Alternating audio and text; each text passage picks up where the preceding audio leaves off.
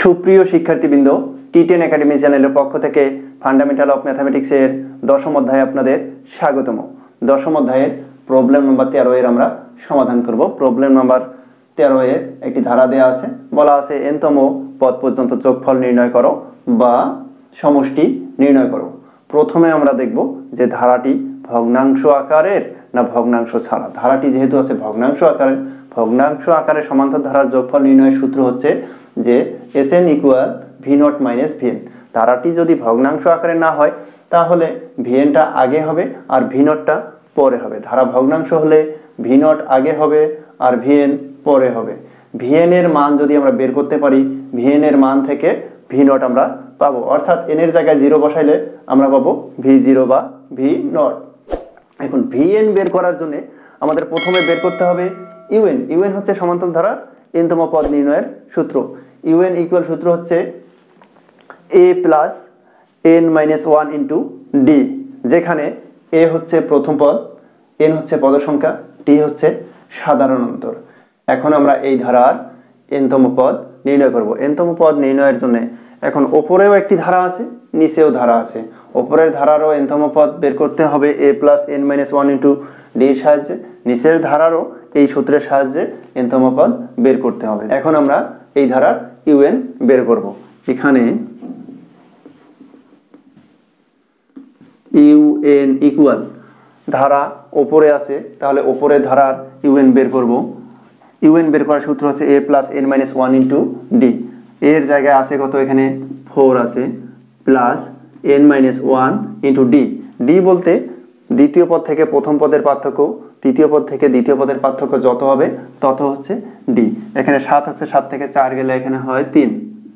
আর নিচে হবে two three four তাহলে এই টু থ্রি ফোরের প্রথম পদ হচ্ছে two plus N minus one into D two আর থ্রির পার্থক্য হচ্ছে ওয়ান ইন্টু তারপরে পদ দেখব, এখানে থ্রি ফোর ফাইভ তাহলে এখানে প্রথম পদ হচ্ছে three plus N minus one into, এই থ্রি আর ফোরের পার্থক্য হচ্ছে কত এখানে?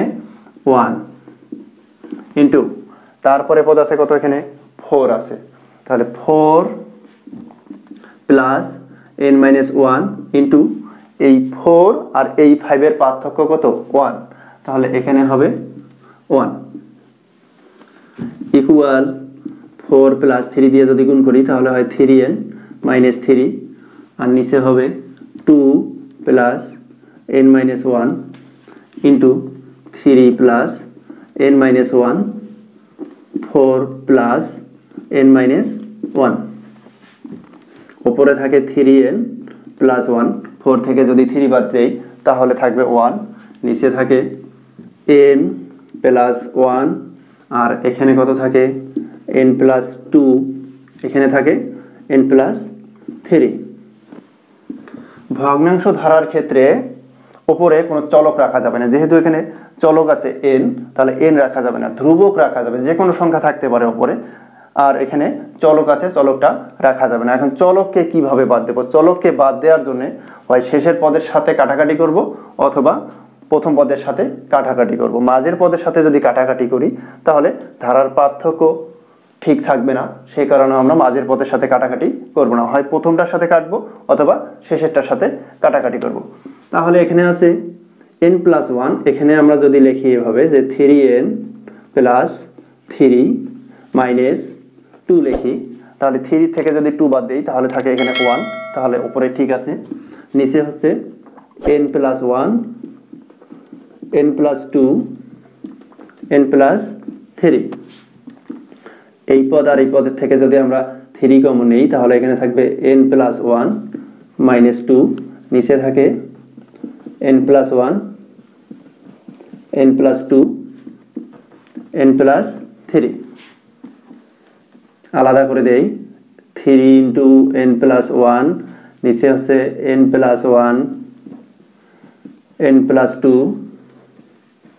N plus three minus two by N plus one N plus two N plus three এখন আমরা এখানে কাটাকাটি করতে পারি। ওপরে এন প্লাস ওয়ান নিচের এন প্লাস ওয়ান তাহলে এখানে থাকতেছে ওপরে থ্রি নিচে থাকে এন প্লাস টু আর এন প্লাস থ্রি মাইনাস এখানে থাকে টু আর নিচে থাকে N plus one N plus two N plus three এটি হচ্ছে কিসের মান? ইউএন এর মান। এখন আমরা ইউএন এর মান থেকে ভিএন এর মান বের করব। ভিএন এর মান বের করার জন্য যদি ধারাটা ভগ্নাংশ হয়, তাহলে ছোট পদটি বাদ দিতে হবে। আর যদি ধারাটি ভগ্নাংশ আকারে না হয়, তাহলে ধারার পার্থক্য ঠিক রেখে একটি পদ বাড়ায় নিতে হয়।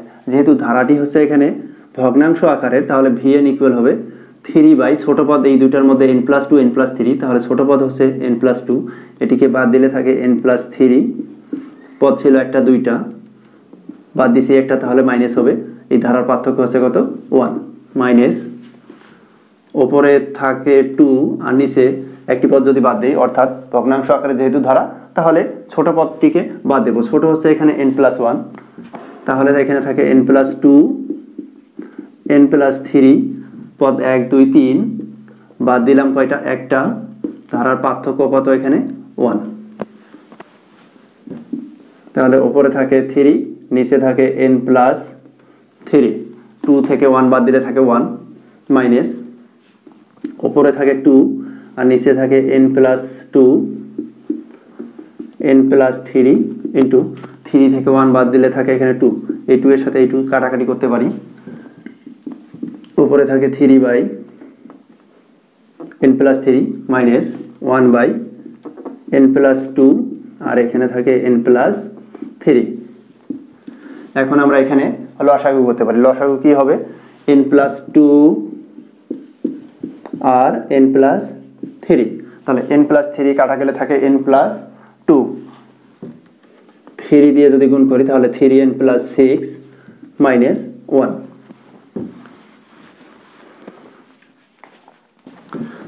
equal three N plus five নিচে হচ্ছে N plus two N plus three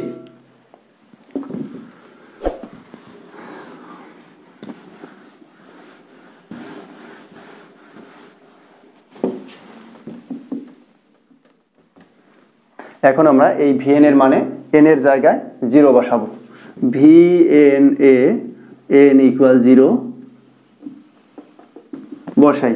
তাহলে হবে এখানে V nought equal three into zero plus five নিচে হয় zero plus two zero plus three ওপরে থাকে ফাইভ টু আর থ্রি গুণ করলে হয় এখানে সিক্স অতএব সমষ্টির সূত্র এস এন ইকুয়াল যেহেতু ধারাটি হচ্ছে ভগ্নাংশ আকার, তাহলে সূত্র হবে S N equal V nought minus V N V nought minus V N V নটের মান হচ্ছে ফাইভ বাই সিক্স মাইনাস হচ্ছে মাইনাস ভি এর মান হচ্ছে থ্রি এন প্লাস ফাইভ আর নিচে আছে N plus two N plus three